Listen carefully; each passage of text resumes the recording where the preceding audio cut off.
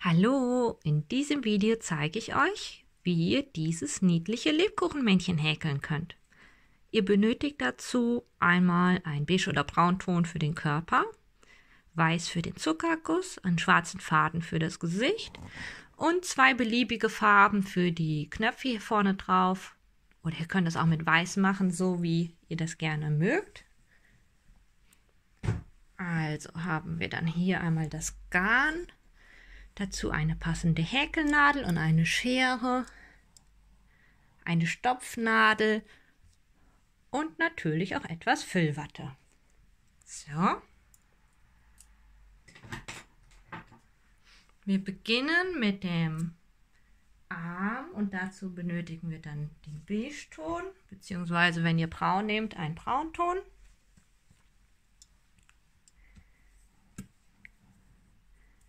Ich beginne mit einer Schlaufe.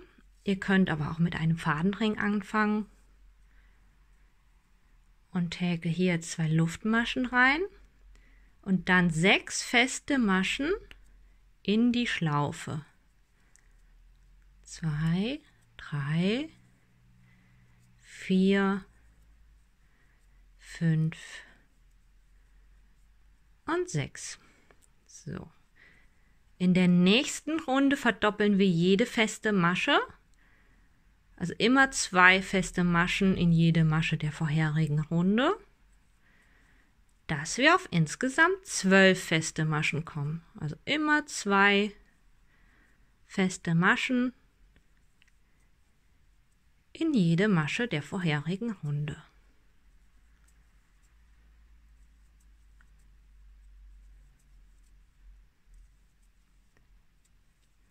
Noch einmal. So, hierauf häkeln wir jetzt zwei Runden mit jeweils zwölf festen Maschen. Also einfach zweimal bis zwölf zählen oder halt einmal bis 24. Das mache ich jetzt mal eben im Schnelldurchlauf.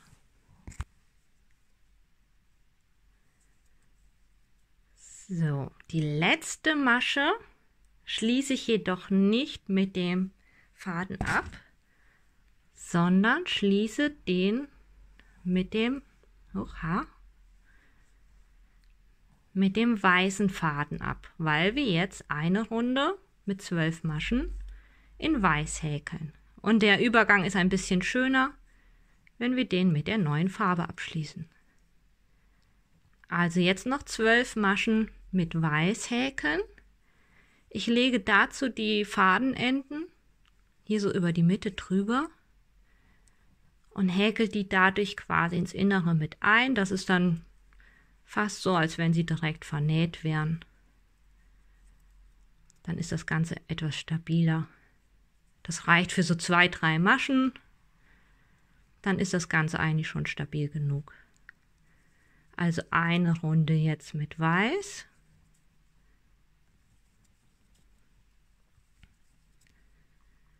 Da braucht man auch gar nicht unbedingt zählen, weil man sieht es ja auch einfach, wenn man die Runde fertig gehäkelt hat.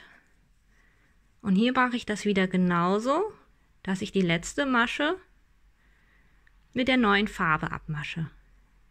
Dann lege ich den weißen Faden hier wieder über die Mitte und häkle jetzt eine Runde mit zwölf Maschen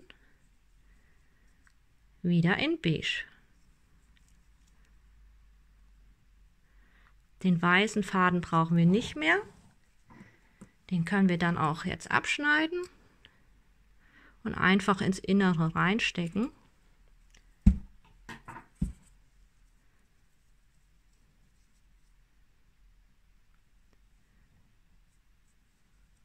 So, also einfach eine Runde nochmal mit zwölf Maschen mit Beige.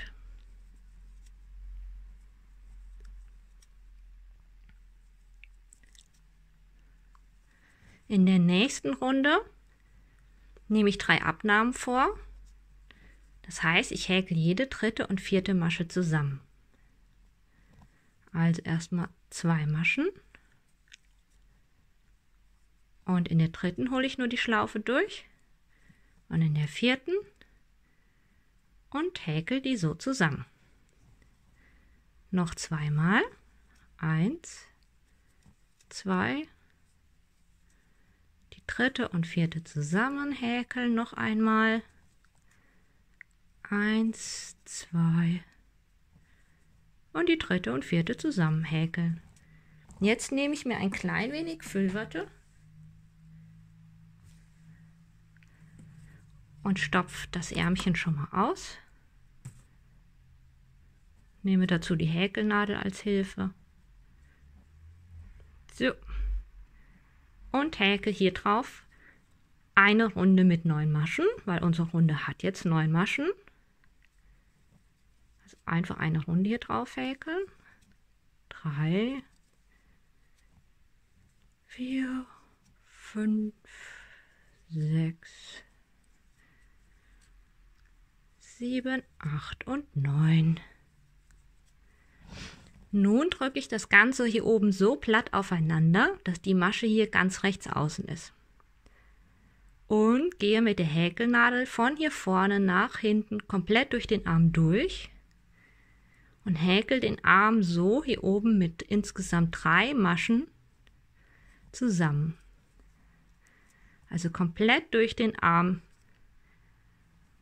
dreimal von vorne bis hinten durchstechen, mache zwei Luftmaschen, drehe das Ganze hier so um und häkel hier noch eine Reihe, nicht runde Reihe, mit drei Maschen drauf.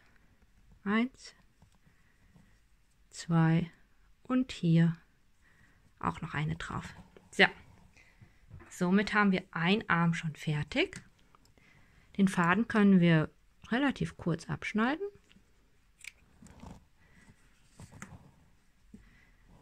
So, ein Arm fertig und genauso häkelt ihr einen zweiten Arm.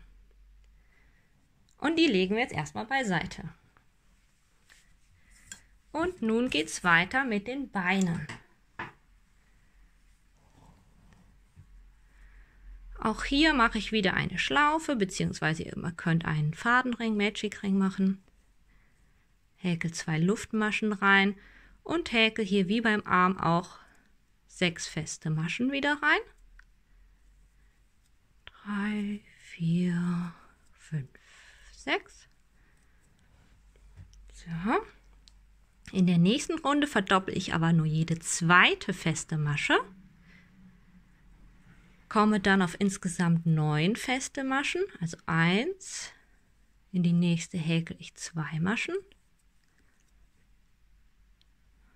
Die dritte wieder nur eine. In die vierte wieder zwei.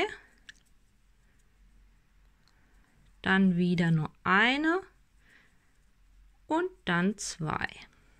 So, in der nächsten Runde verdoppeln wir auch nur drei Maschen.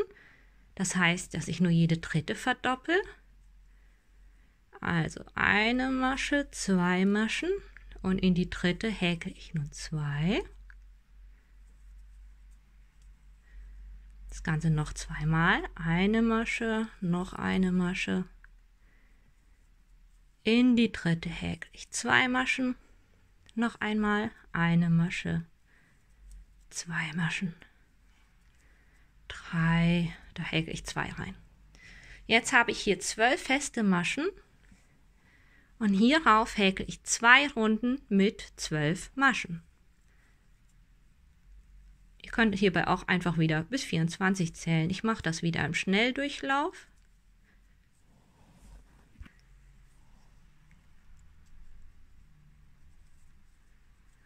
So sieht das nach den zwei Runden aus. Bei dem ersten Bein schneidet ihr den Faden auch wieder kurz ab. Ich habe das erste Bein aber schon vorbereitet. Da, Und bei dem zweiten Bein lassen wir den Faden dran, weil wir von hier direkt den Körper weiter häkeln. Ich häkel hier jetzt noch eine Runde drauf, in der ich aber die sechste Masche verdoppel. Also komme ich auf insgesamt 13 feste Maschen. Eins, zwei, drei, vier, fünf, sechs. Da häkel ich noch eine rein.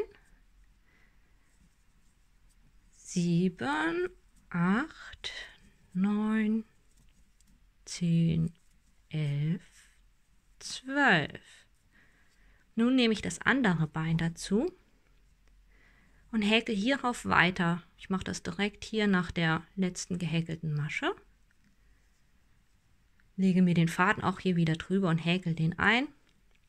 Und auch hier verdoppel ich die sechste Masche.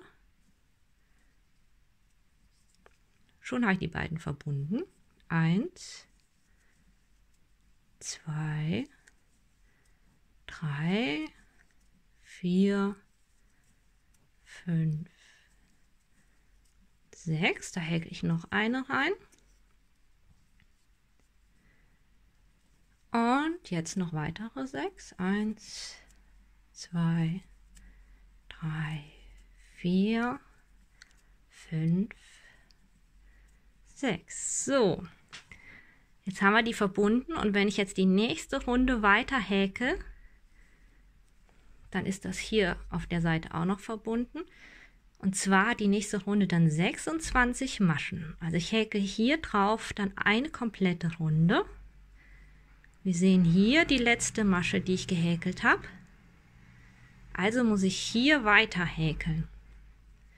Ab da ist dann meine erste Masche von der nächsten Runde. Die häkeln wir jetzt noch einmal zusammen. Das sind dann insgesamt 26 Maschen, die ich ab hier häkel. So, hier unten bleibt eventuell so ein kleines Loch, was ihr nachher nochmal zunähen müsst.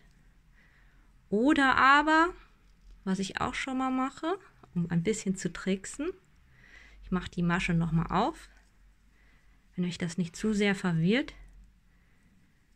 Ich hole hier schon mal eine Schlaufe durch und hier, wo ich die letzte Masche reingehäkelt hatte, auch eine Schlaufe durch. Das zählt nämlich noch nicht als Masche, sondern erst, wenn ich hier in der ersten Masche den Faden durchhole, das zählt als erste Masche und so habe ich das Loch schon etwas geschlossen.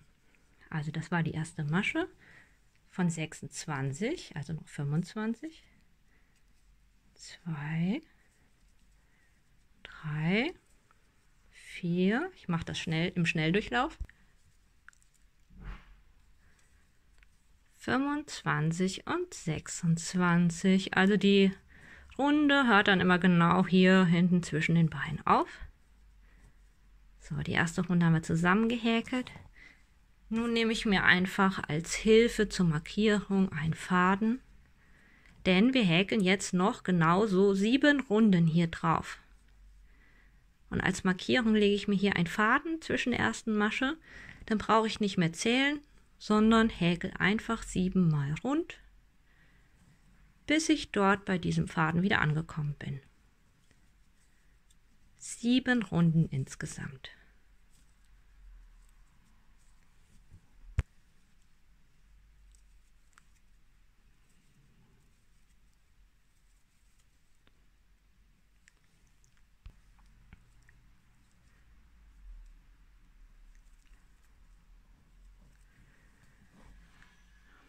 So, nun habe ich meine Runden fertig. Jetzt lege ich mir die Markierung weiter nach hier oben. In der nächsten Runde nehme ich zwei Abnahmen vor. Und die könnt ihr beliebig machen. Ich mache sie aber jeweils an den Seiten.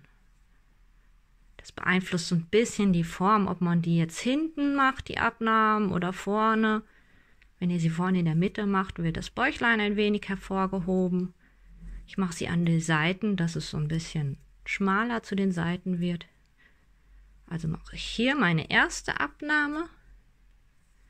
Da braucht ihr auch gar nicht zählen, wenn ihr den Markierungsfaden hinten reingelegt habt, weil ihr häkelt dann einfach rund, bis ihr bei der Markierung wieder angekommen seid. Und dann mache ich hier auf der Seite meine zweite Abnahme und bin jetzt auch schon einmal rund. So, jetzt habe ich 24 Maschen. In der nächsten Runde nehme ich drei Abnahmen vor. Da häkel ich die siebte und achte Masche zusammen. Also erstmal sechs Maschen häkeln. Drei, vier, fünf, sechs. Die siebte und achte häkel ich zusammen, das Ganze noch zweimal. Zwei, drei, vier, fünf, sechs. Die siebte und achte zusammen häkeln, noch einmal. Eins, zwei, drei, vier, fünf, sechs. Und die letzten beiden Maschen zusammen. Noch eine Runde mit drei Abnahmen. Da häkel ich dann jede sechste und siebte zusammen. Also erstmal fünf feste Maschen häkeln. Drei, vier, fünf. Die sechste und siebte zusammen. Noch zweimal. Zwei, drei, vier, fünf. Die sechste und siebte zusammen. Und noch einmal zwei, drei, vier, fünf und die letzten beiden zusammen. So, in der nächsten Runde häkeln wir auch schon die Arme fest. Die häkeln wir direkt mit ein. Das erspart das lästige Zusammennähen. So, dazu häkeln wir erstmal fünf Maschen. Dann müssten wir ungefähr an der Seite angekommen sein.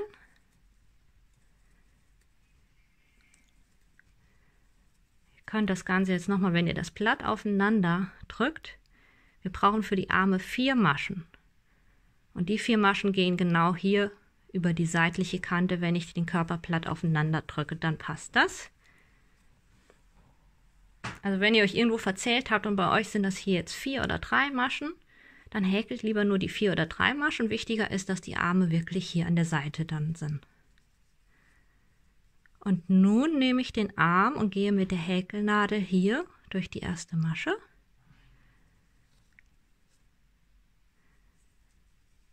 Und dann mit der Häkelnadel hier im Körper in die nächste Masche. Und häkel hier so meine feste Masche. Den Faden lege ich hier wieder oben drüber und häkel den nun mit ein. Dann sind die Arme direkt schön fest der Faden vernäht. Also hier die zweite, hier durch die nächste und hier im Körper durch die nächste. Das ist dann die dritte. Und noch einmal hier hinten durch die letzte. Und hier vom Körper durch die nächste. Und nun häkel ich wieder fünf Maschen, bis ich auf der anderen Seite angekommen bin. Also das müssten bei euch auch fünf Maschen sein, dass der Arm dann parallel dazu auf der anderen Seite festgehäkelt wird. Drei, vier, fünf. Hier das gleiche Spielchen. Häkelnadel durch die erste Masche stechen. Da muss man mal ein bisschen aufpassen, wenn der Faden zu kurz abgeschnitten wurde, dass man das dabei hier jetzt nicht aufzieht.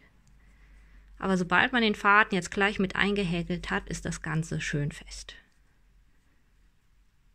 Deswegen lege ich den Faden jetzt erstmal hier nach außen rüber. Häkel hier meine erste Masche. Gehe hier durch die nächste und dort durch die nächste. Lege den Faden hier drüber. Das ist die zweite und dasselbe mache ich jetzt auch wieder mit der dritten und der vierten.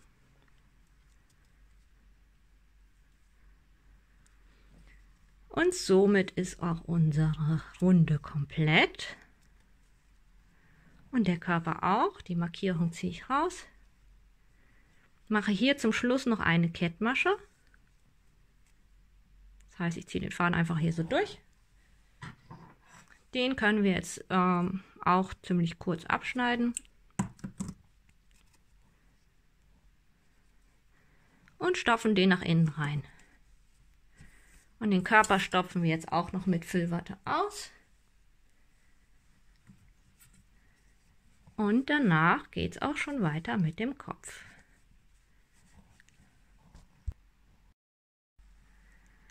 So, ihr kennt das Spiel. Beim Kopf das gleiche. Ich fange mit einer Schlaufe an. beziehungsweise auch Fadenring. Mache hier zwei Luftmaschen rein und häkel sechs feste Maschen in die Schlaufe.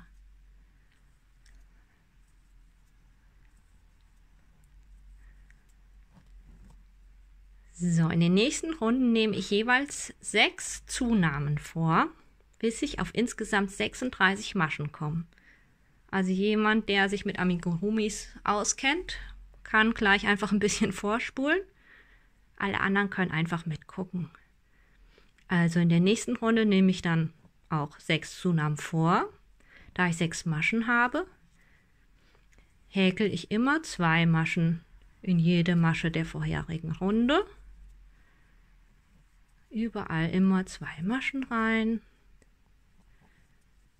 Insgesamt sechs Mal, dass ich auf insgesamt zwölf feste Maschen komme.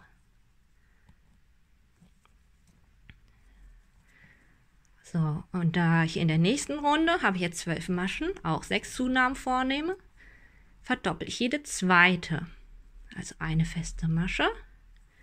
In die zweite häkel ich zwei Maschen. Und das Ganze mache ich insgesamt sechsmal. Immer eine Masche in die nächste zwei, bis ich wieder am runden Anfang angekommen bin und dann insgesamt 18 feste Maschen habe. Noch einmal. In der nächsten Runde heißt das, dass ich jede dritte Masche verdoppel. Also zwei Maschen. In die dritte häkel ich zwei. Das Ganze noch fünfmal. Eins, zwei. Hier häkel ich wieder zwei rein. So, ich spule mal vor.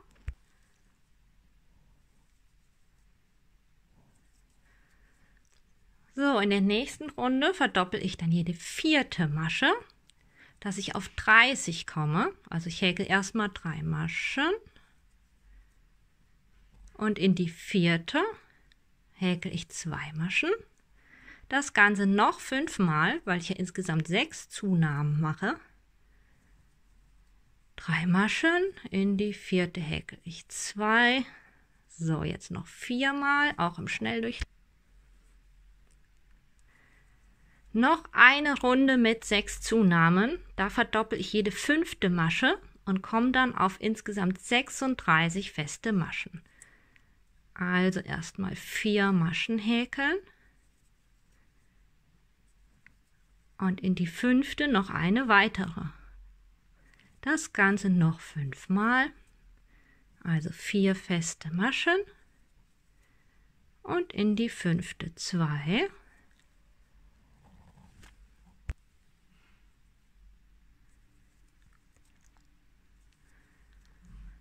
So, jetzt habe ich alle Zunahmen gemacht und 36 Maschen in einer Runde.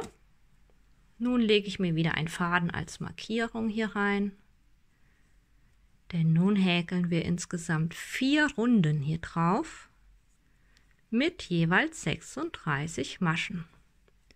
Also könnt ihr entweder viermal bis 36 zählen oder wenn ihr euch so eine Markierung hier reinlegt, häkelt ihr einfach viermal rund bis ihr bei der Markierung wieder angekommen seid. Also vier Runden häkeln wir jetzt.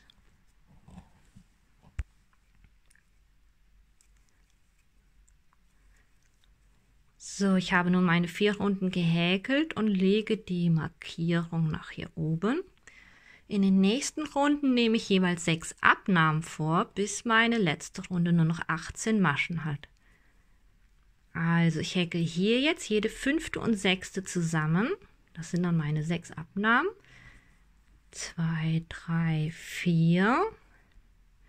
Die fünfte und sechste häkel ich zusammen. Noch fünfmal, beziehungsweise bis ich dort bei der Markierung wieder angekommen bin, häkel ich jetzt immer meine vier Maschen und die fünfte und sechste dann zusammen. So, bei sechs Abnahmen heißt das, dass ich in der nächsten Runde jede vierte und fünfte zusammenhäke. Also häke ich jetzt drei feste Maschen und die vierte und fünfte zusammen und das Ganze, bis ich beim, bei der Markierung wieder angekommen bin. Drei feste Maschen und die vierte und fünfte zusammenhäkeln.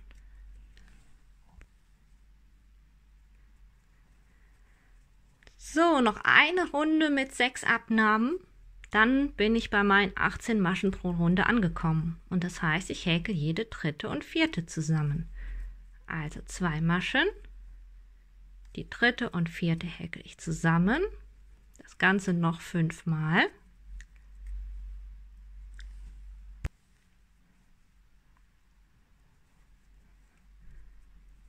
So, das Ganze schließe ich nun mit einer Kettmasche ab. Der Kopf ist jetzt fertig und hierbei muss ich den Faden aber etwas länger abschneiden. Die Markierung brauche ich nicht mehr. Den Kopf stopfe ich nun mit Watte aus und beim Ausstopfen drücke ich so ein klein bisschen hier drauf, dass ich ihn so ein bisschen platt drücke.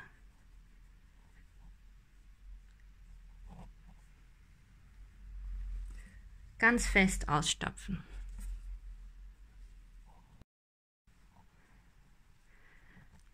So, und dann nehme ich meine Stopfnadel und nähe den Kopf auf den Körper. Dadurch, dass die Maschenanzahl der letzten Runde genauso groß ist wie vom Körper, ist das Zusammennähen jetzt ganz einfach.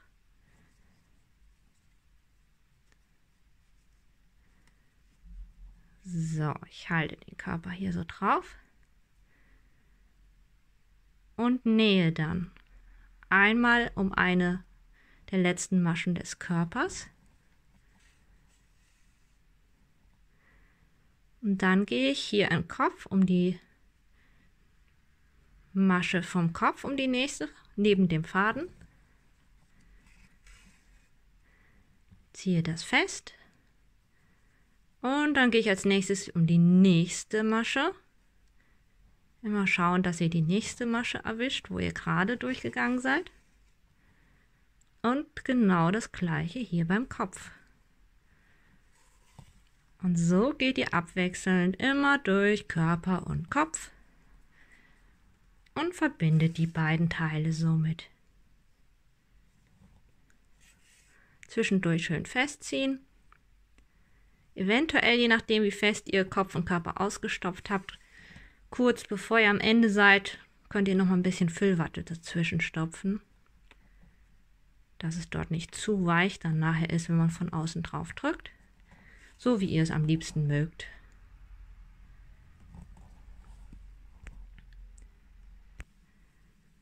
So, wenn ihr die Teile verbunden habt, danach noch den Faden etwas vernähen.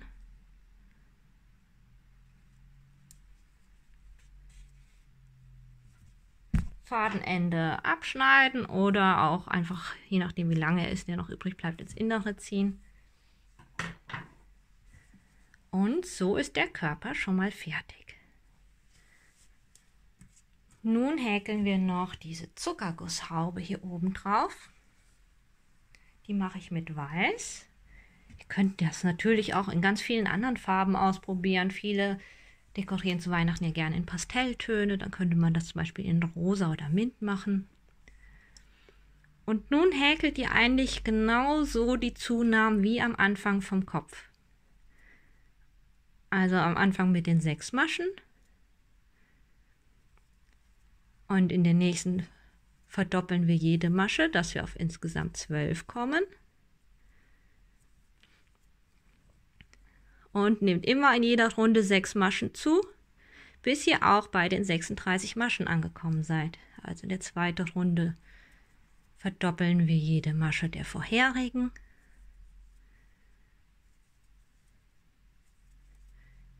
In der dritten Runde verdoppeln wir jede zweite Masche, dass wir auf insgesamt 18 feste Maschen kommen.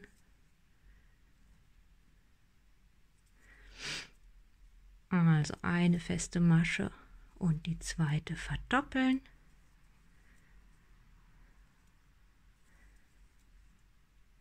Und in der nächsten Runde dann jede dritte feste Masche. Also häkelt genau so. Deswegen mache ich das jetzt im Schnelldurchlauf. Wie bei dem Kopf. In jeder Runde die sechs Zunahmen. Bis ihr auf insgesamt 36 feste Maschen kommt.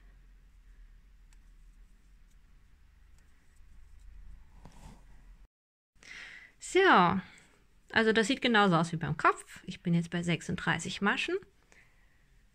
Und damit wir, wie hier, dass es so runterläuft, also dass es so aussieht, als wenn das so runtergelaufen wäre, der Zuckerguss. Da häkelt ihr jetzt außen rum. Ich lege mir eben mal eine Markierung wieder hier rein. Abwechselnd ähm, feste Maschen und Stäbchen zum Teil. Also ich mache jetzt hier mal zwei feste Maschen, dann ein halbes Stäbchen, dann ein ganzes Stäbchen in die nächste, die nächste auch noch mal ein ganzes Stäbchen, in die nächste ein halbes Stäbchen, dann wieder feste Maschen. Das könnt ihr so nach Belieben variieren, dann habt ihr hier so einen Bogen drin und dass da so ein Tropfen runterläuft, dann mache ich jetzt vier Luftmaschen. Dann mache ich ein halbes Stäbchen hier in die dritte Luftmasche von der Nadel aus. Und hier in die nächsten zwei Luftmaschen, die hier noch sind, feste Maschen. So habe ich hier ein so einen runtergelaufenen Tropfen gehäkelt und häkel hier unten wieder weiterhin feste Maschen. Und das könnt ihr beliebig oft und viel wiederholen. Ihr könnt auch mal zum Beispiel nur drei Luftmaschen machen und dann erst ein halbes Stäbchen. Dann ist unten so ein bisschen dickerer Knuppel. Und in die nächste eine feste Masche. Seht ihr, dann habt ihr einen längeren und einen kürzeren. Dann häkel ich wieder ein paar feste Maschen. Dann mache ich wieder das mit ein, erst ein halbes Stäbchen, dann ein ganzes Stäbchen. Und so könnt ihr ja jedes, also wenn ihr mehrere machen wollt, jedem Püppchen so einen anderen individuellen Look geben. Dann sieht jedes ein wenig anders aus wenn ihr das überall äh, ein bisschen variiert.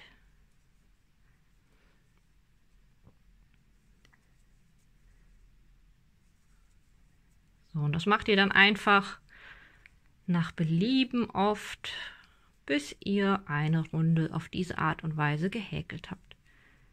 Ihr könnt auch mittendrin einfach mal mehrere Stäbchen aneinander machen. So, jetzt habe ich mehrere Stäbchen gehäkelt. Dann wieder ein halbes und wieder feste Maschen. Jetzt häkel ich noch mal einen Tropfen zum Schluss. So.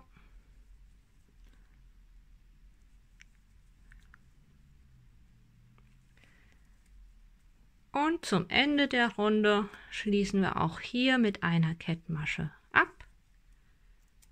Den Faden brauchen wir nicht mehr.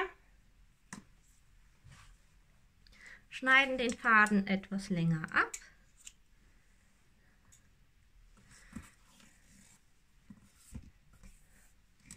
Nehmen jetzt unsere Stopfnadel und nähen dieses Häubchen oder Mütze auf den Körper. Dann könnt ihr hier so ein bisschen variieren, wie ihr die Tropfen angeordnet haben wollt. Ein bisschen schräg oder gerade. So könnt ihr das nach Belieben jetzt hier drauf nähen. Und so näht ihr das einfach so grob, schon dass es hält aber mit ein paar Stichen rundherum hier drauf. könnt die ähm, Tropfen, dass die nicht sich hochrollen, dann auch noch mal mit ein paar Stichen fixieren und festnähen. Weil sonst kann sein, dass die sich hier so immer hochkringeln.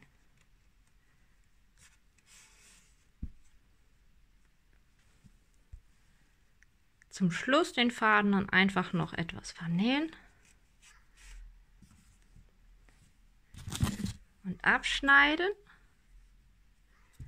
Und nun ist das Männchen auch schon fast fertig. Jetzt fehlen nur noch die Kleinigkeiten zum Verzieren. Das könnt ihr nach Belieben verzieren. Ihr könnt auch ähm, statt ein Gesicht jetzt aufzusticken, also ich nehme dazu äh, einen schwarzen Faden. Und sticke Augen und Mund auf. Aber natürlich könnt ihr auch ähm, die aufkleben, zum Beispiel aus Filz ausschneiden. Oder Wackelaugen drauf. Oder ihr nehmt Sicherheitsaugen.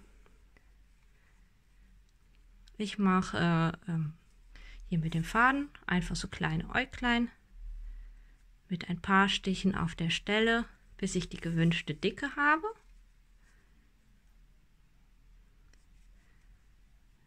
So, da das nächste Auge.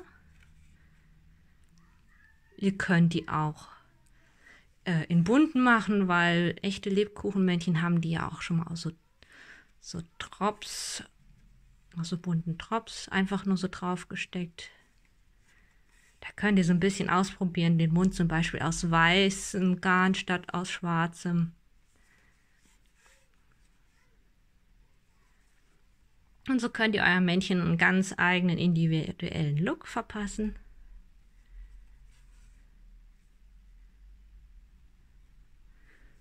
So, ich fixiere den Faden hier noch in der Mitte mit ein paar Stichen. Also lege ihn erst in der kompletten Länge, so groß wie der Mund sein soll, drüber. Und überall in der Mitte fixiere ich ihn noch, dass das auch wirklich gut hält. So, und jetzt fehlen tatsächlich nur noch die kleinen Knöpfe vorne drauf. Und die könnt ihr auch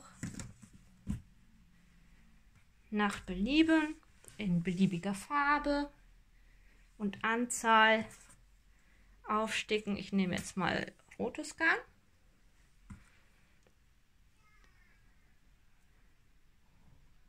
Ihr könnt da auch so klein, es gibt doch diese kleinen äh, Pompoms zu kaufen, diese Fellkugeln. Na, warum kriege ich denn den Faden jetzt nicht hier rein? Und diese aufkleben, mit Glitzer verzieren und ich muss gestehen, im Dekorieren äh, habe ich nie so viele Ideen. Da habt ihr vielleicht noch sehr viel mehr Ideen als ich. Ihr ermittelt ungefähr die Mitte.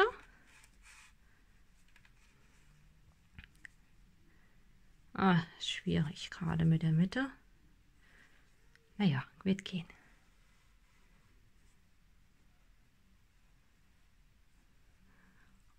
Und ich gehe dann hier über zwei rein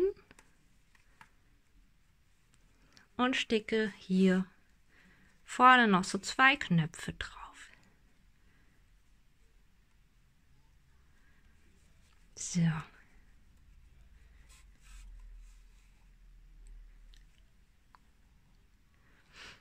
Einfach ein paar Mal hier über die gleiche Stelle, bis ihr die gewünschte Dicke habt.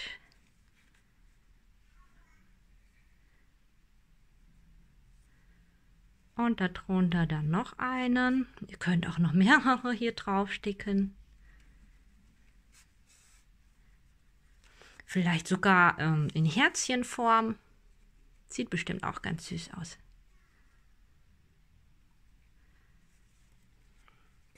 Ja, und so ist euer Lebkuchenmännchen dann auch schon fertig. Also am Ende nach Belieben ausschmücken. Ich zeige euch das jetzt noch eben, wie ich das fertig mache. So viel Zeit muss sein.